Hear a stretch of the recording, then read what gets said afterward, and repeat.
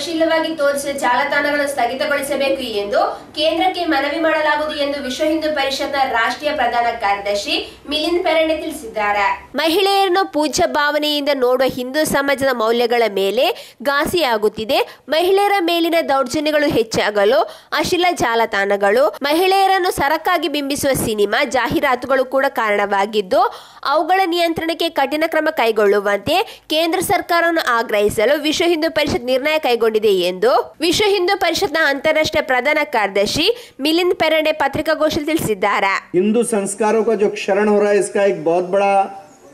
जो प्रकट स्वरूप है वो यानी महिलाओं के ऊपर अत्याचार बढ़ रहे हैं पूर्ण देश भर में ये हिंदू संस्कृति के लिए हिंदू समाज के लिए इस पुण्य भूमि के लिए एक बहुत भयानक बात है इसमें जो जो दृष्टि आज समाज में विकसित हो रही है कि स्त्री है केवल एक भोग की वस्तु है।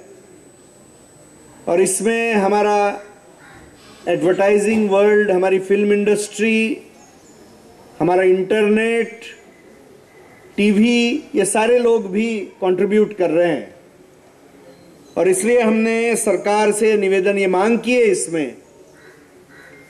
कि पॉलिसी बनाकर इन तीन चार व्यवस्थाओं को कड़ाई से कंट्रोल किया जाए।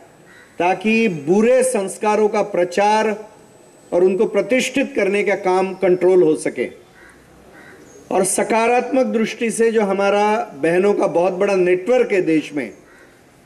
आज लाखों बहनें विश्व हिंदू परिषद के कार्यकर्ता है। तो उनके माध्यम से परिवारों में, छोटे बच्चों में यह संस्कारों को प्रतिष्ठित करना कि मातृवत परदारेशु जो हमारे यहाँ पर एक मूल्य कहा गया है जीवन मूल्य करके तो वो जीवन दृष्टि कैसे पुनः विकसित की जाए इसके लिए भी हम प्रयास करेंगे ಈ ಸಂದರ್ಭ ಪತ್ರಿಕಾಗೋಷ್ಠಿಯಲ್ಲಿ ವಿಶ್ವ ಹಿಂದೂ ಪರಿಷತ್ ದಕ್ಷಿಣ ಕರ್ನಾಟಕದ ಅಧ್ಯಕ್ಷರಾದ ಪ್ರೊಫೆಸರ್ ಎಂ ಬಿ ಪುರಾಣಿಕ್ ಉಪಸ್ಥಿತರಿದ್ದರು